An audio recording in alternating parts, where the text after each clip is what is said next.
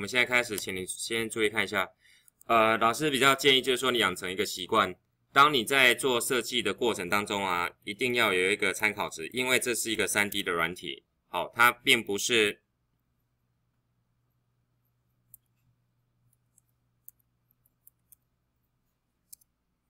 它并不是一个二 D 的软体，所以你很容易在那个三维的空间里面啊去迷路。好，所以说请记得。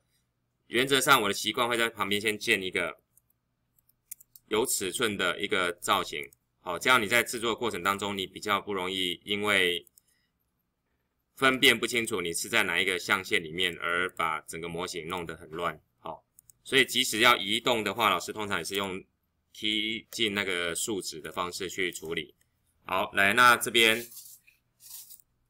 我们今天最主要讲的是啊，如果你今天要做一个类似像日本的那个帐子门的话，就是像那个小木门上面有贴那个纸张的那一种木门的话，好，怎么去处理？来，你看一下哦。好，第一个我要一百二十公分的话，你先做一个记号。那我们今天呢，就在这边先画一个形，这就是一个木门它本身的大小，对不对？一样，快速按三下，先群组，然后按两下进入编辑。那使用这个功能。去复制一个框进来，那你可以直接打，比如说你要五公分的框，那就先打五公分。好，那中间这一块用不到的造型就先把它丢掉。那再来，门的厚度大概是四公分左右。好，所以好，这个是基本的一个外框，你要先记得。好，那有时候啊，如果说因为呃本身框有一个厚度。你要去画它的形不好画的时候，通常老师也会这么做，就是说我会先选择先不要把它拉厚度出来。好，你可以看一下这厚度还没拉出来，对不对？好，那我们先退出这个这个群组。那接下来你看一下，我们要在这上面去画图的时候，请你注意一下，是不是这边每隔一个部分你就要画一个框，对不对？好，那你先要知道一下，比如说你要每隔二十三公分左右。要画一个框的话，好，那现在请你注意一下哦。这边通常我会先画一条线，然后再来把这条线，这是参考线哦，好，往上复制。那来数学比较好的同学，请问你，我如果是要二十二格的话，我必须要画，哎，二十三的话大概是十格嘛，哈。我如果十格在导致的第一条线跟第三条跟最后第二条线中间，我必须要画几条？是九条还是十条还是十一条？嗯，应该是九条吧？是吗？错，十条，都没有人敢回答吗？好，来，我们算再算一次哦，一二三四五六七八九十，好，果然真的是十条，哎。因为啊，刚刚那一条第一条也要算一条，所以其实中间是九条，没错，只是这边多加了一条是十条。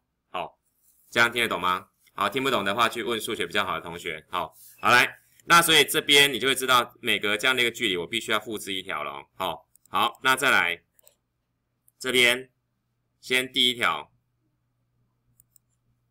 然后再来一样，我要再复制一条过来。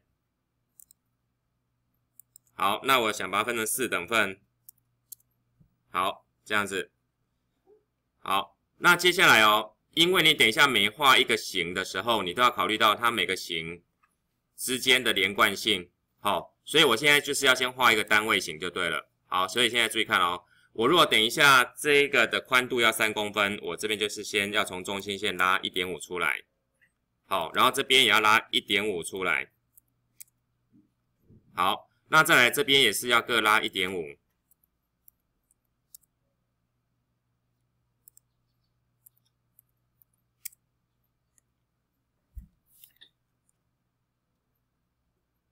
现在啊，你就是只做其中一个单位型，等一下全部用复制的就好。所以在这个阶段里面，你的头脑要清醒一点。好，好来，再来一样的方法，外面也必须要一个一点五的小框。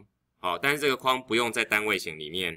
我等一下做了，你就会比较容易理解。好，好来，所以啊，因为这样子的关系，我等一下要真正要做的型就是这一个型。好，那我们先实验一个看看。好，好来。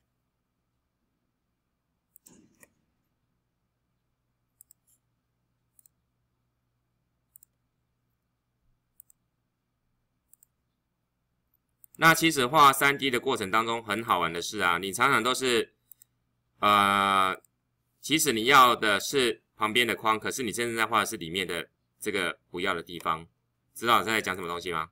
好，所以有时候思考模式会在这做三 D 的过程当中啊，自己的头脑会得到一些不一样的解放，哦，还蛮有趣的。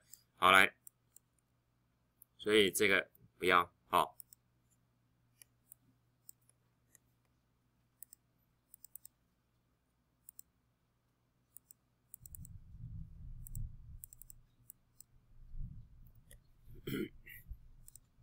好，那现在我们需要去确认一件事，就是说这里的宽度，好，你看不到，你有没有发现前面有一条像蚯蚓的那个符号？好，那表示啊，因为我们的那个数字啊小数点，你会看不到它，所以你这时候可以在那个模型，哎，偏好设定这边，不对，是模型，好，哎。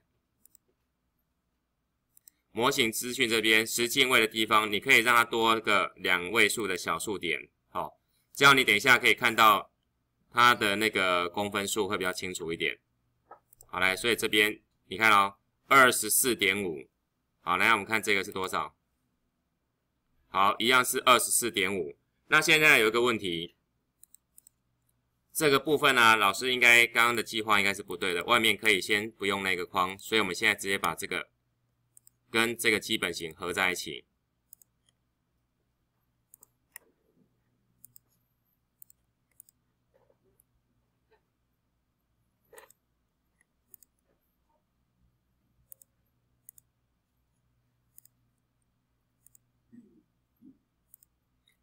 像遇到这种比较麻烦的东西啊，就是在第一次的时候会第一个单位型，你需要很认真去思考，因为其实老师有时候也会常常弄。搞混了，好，哎，所以你看这样子，是不是这样复制过来就可以了，对不对？好，所以表示这个基本型本身，我们要在实验左右没问题，那再来上下有没有问题？好，好来，好，你看都合在我们的位置上了，对不对？好，这样大致上没有问题之后，来表示这个单位型是可以用的。好，那接下来我们就必须先把它的厚度先做出来。第一个，这个我想让它四公分，那里面的这个形让它三公，哎，二点五公分就好，好，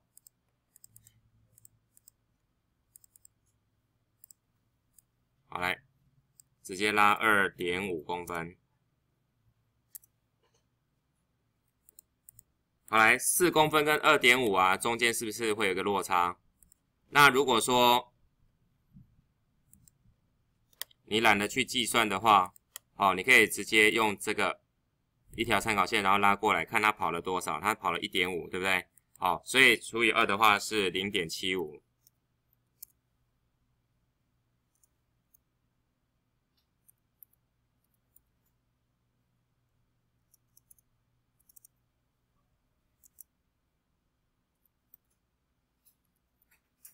好，这样它会自己跑零点七五。好。那现在接下来啊，速度就可以比较快了。你看啊，这样你先复制第一个，好，然后再来把两个取选取起来。那你可以看一下，大概要复制几个？先算一下，一、二、三、四，所以等下复制四次，对不对？来，那现在还有个问题哦，刚刚同学里面还有做了一个东西，叫做他还有做了玻璃，好，所以来老师刚刚忘记先把玻璃先画好来。你这边画玻璃的时候啊，你只要在这上面直接先画出来，或者你偷懒的话，可以画一个之后，直接用复制的方法比较快。按着 Alt 键，然后这个点对这个点拉过来，它就可以在这个位置上面。好，好来，那再来快速按两下，按住 Shift 键，再按两下。好，先按右键，群组。那因为玻璃本身呢，它是雾面的，哦，所以你可以从材质里面去选取，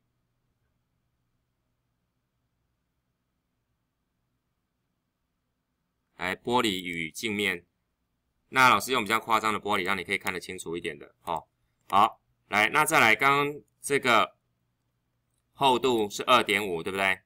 好，所以是一点二五。你记得啊，要打数字的时候都要注意一下你的键盘，因为每个人的那个电脑不大一样。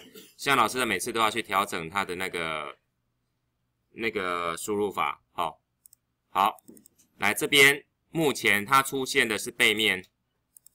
好，所以来我们快速按三下，把它的反转表面把它反转出来。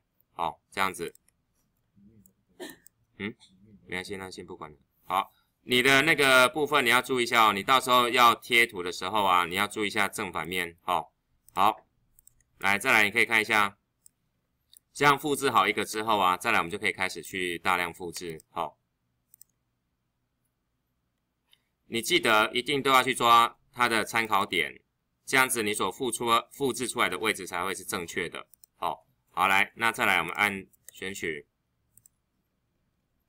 再来这个地方，你就是同时用滚轮跟左那个左那个左键，还有你的左手要按住 Ctrl 键，好，按了之后再用滚轮滚远一点，这样你才会知道哪里可以对到它的参考点，对不对？好，然后再来，呃，你的键盘上面有一个像星号的一个按键，按星号，现在出现在右下角，有没有看到？好。然后总共要复制四次，就按四，就是乘以四的意思。好，那这样子直接一个门很快速的就可以完成，这样了解吗？然后呢，你如果要把它变成一个元件也可以，因为变成元件之后啊，它就可以不占不大占你的空间的时候，同时一直复制，这样了解吗？那另外变成元件还有一个优点，当你这两个是同一个元件的时候。你可以去修改这个，你有没有发现它两个同时被选取？也就是说，你里面如果用了一百个门，你只要修改一次，这一百个门会同时自己修正，这样听得懂吗？好，来，老师修正给你看哦。假使说我现在随便去操作这个东西，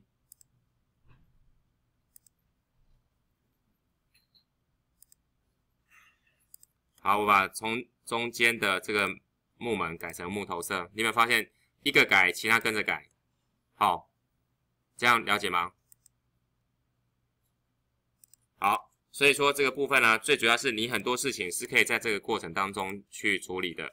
那老师在这边再重新强调一个观一个观念。好，假使你今天要在一个区域里面，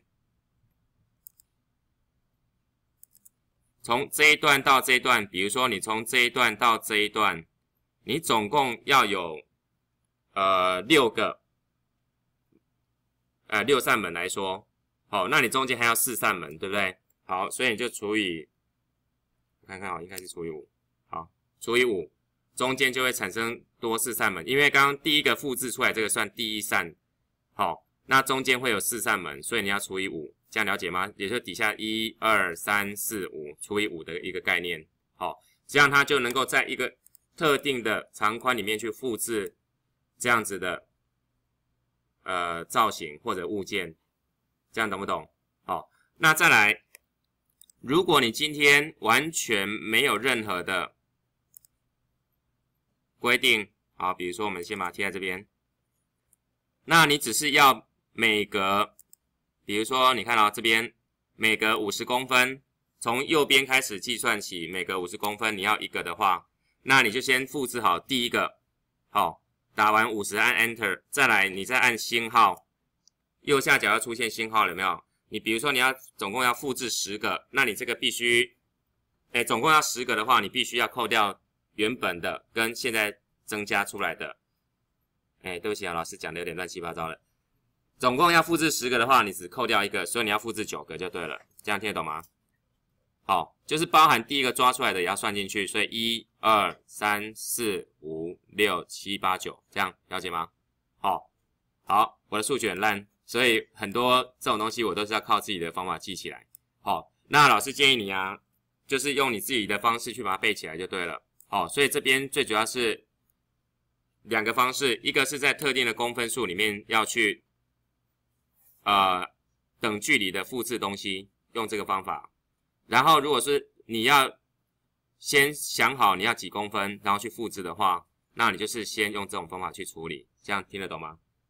好，好，那原则上不管听懂听不懂，其实你自己去试一下之后，这个东西就会变成你自己的一个技能。